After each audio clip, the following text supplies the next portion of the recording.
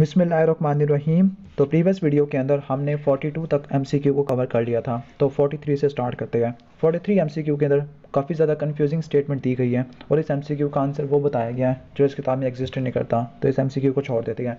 44 से स्टार्ट करते हैं। 44 के अंदर इन्फॉर्मेशनल केयर का बेस्ट वे क्या होता है?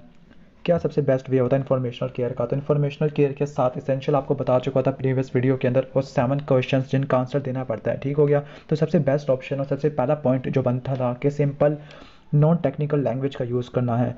Doctor Usman is a new house officer in the medical ward medical ward के अंदर doctor Usman new house officer थे, जो एक पेशेंट को एग्जामिन कर रहे थे। तो इनके सीनियर फिजिशियन ने इनको कहा कि आप कंसेंट लो। कंसेंट और कॉन्फिडेंशियलिटी कौन से सेक्शन के अंदर आता है? सेक्शन बी के अंदर आता है, जिसको आप मेडिकल एथिक्स भी बोलते हैं। और आपको पता है कि जो एथिक्स होते हैं, उसको दो में डिवाइड करते हैं। नॉर्मेटिव एथिक्स और डिस्क्रिप्टिव एथिक्स होते हैं। तो जो नॉर्मेटिव एथिक्स हैं, इसके अंदर ये चीज़ आना शुरू हो जाती है कि कंसेंट लेनी चाहिए। ओके ठीक है? M C Q number forty six है. A woman who dislike her mother in laws mother in law remain very nice to her यानी एक थी औरत थी जो अपनी सास को नापसंद करती थी, लेकिन बड़ी नाइस रहती थी. अब ये डिफेंस मैकेनिज्म के अंदर चीज़ें लिखी हुई है. अब ये कौन सा डिफेंस मैकेनिज्म होता है? डिनाइल हो नहीं सकता, ये डिस्प्लेसमेंट भी नहीं हो सकता. डिस्प्लेसमेंट में अपना गुस्सा किसी और पर उतार देते हैं सप्रेशन में मिनिमाइज कर देती है. ये है इसका बेस्ट ऑप्शन क्या होगा? रिएक्शन फॉर्मेशन होगा. ओके ठीक है? रिएक्शन फॉर्मेशन रिएक्शन फॉर्मेशन के अंदर अनएक्सेप्टेबल फीलिंग्स होती है। उनको डिसगाइज कर देते हैं by repression of real feeling next a patient in medical ward is in state of confusion and agitation confusion है और एजिटेशन है। नार्कोलेप्सी हो नहीं सकता क्योंकि रात को सोता तो है नहीं वो।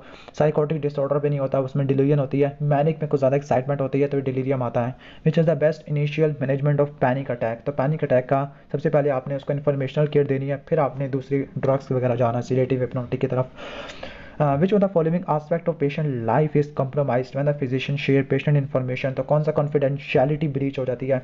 ठीक है? A woman has a noisy quarrel with her boss at work she speechlessly accept harsh word of her boss that night she picks a fight with her husband तो उसने अपना गुस्सा किसी और पे उतार दिया तो उसको डिस्प्लेसमेंट बोलते हैं। ठीक है? नेक्स्ट है स्टिग्मा स्टिग्मा करता क्या? स्टिग्मा सब चीज़ें करता है। स्टिग्मा जिसको हम कह सकते हैं कि जो एक बुरी चीज़ बता देते हैं लोग, जिसको लोग मायूब समझते हैं। फॉर एग्ज़ाम्पल किसी का अगर इनफर्टिलिटी होती है इनफर्टाइल लोग उसको बुरा समझना शुरू कर देते हैं, मनहूस समझना शुरू कर देते हैं। जो बद शगुनी होती है तो उसको स्टिग्मा बोल देते हैं। Some people develop lacking toward some aspect of their sickness such as तो उसको क्या बोलते हैं हम? सिक रोल यानी वो अपने आप को मरीज़ कहलाना पसंद करते हैं, ताकि उनको उतनी अटेंशन दी जाए जितनी मरीजों को दी जा रही थी। According to holistic medicine mind body spirit मिलकर काम करती है। नॉन फार्माकोलॉजिकल इंटरवेंशन के अंदर सर्जरी और ड्रग्स नहीं होता। डू यू फील नोजिया तो ये क्लोज एंडेड क्वेश्चन होता है, जिसका यस नो में आंसर मिलेगा। After listening the patient summarise करना पेशेंट के वर्ड्स में तो उसको पैराफ्रेजिंग बोलते हैं। ओके ठीक है? और अगर हिस्ट्री देते वक्त किसी पेशेंट का कोई ना कोई इमोशनल रिएक्शन आता है तो उसको हम सिलेक्टिव रिफ्लेक्शन बोलते हैं। वो टेक्निक जिसके ज़रिए डॉक्टर किसी भी पेशेंट के प्रॉब्लम को समझेगा, उनका, और उनको उनका सोल्यूशन दे देगा। यानी पेशेंट को या दूसरे लोगों को मशवरा देना कि अपनी प्रॉब्लम को किस तरह से सॉल्व करना है तो उसको काउंसलिंग बोलते हैं।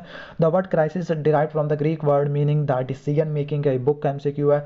क्राइसिस के अंदर सबसे जो स्टेटमेंट सबसे बेस्ट हैं तो सारे के सारी सही नहीं है, सिवाय एक ये वो है चार्ली ये हम इम्पैथी कर रहे हैं। बैड न्यूज़ ये वो क्या होती है कि जो एडवर्सली इफ़ेक्ट करती है किसी बंदे की लाइफ को। What is the advantage of full disclosure model जिसमें फैमिली सपोर्ट मिल जाती है और दूसरे टाइम वगैरह मिल जाते हैं अफेयर्स के, ठीक है?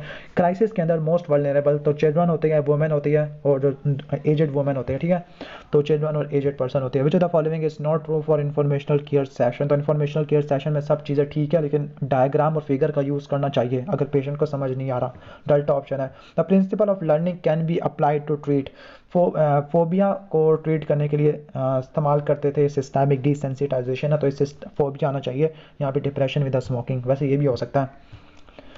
ओके तो अगर आपको वीडियो अच्छी लगी है, तकरीबन चार मिनट की है, बल्कि पाँच मिनट की है, छोटी सी वीडियो है प्रीवियस वीडियो के अंदर मैं सारा एक्सप्लेन कर चुका हूँ तो प्रीवियस प्रीवियस वीडियो को ज़रूर देख लेना। और अगर आपको ये वीडियो चुनने से भी अच्छी लगी है तो प्लीज़ वीडियो को एक अदद लाइक कर देना चैनल पर नहीं हो तो सब्सक्राइब कर देना। मिलते हैं नेक्स्ट वीडियो में तब तक के लिए अल्लाह हाफिज़।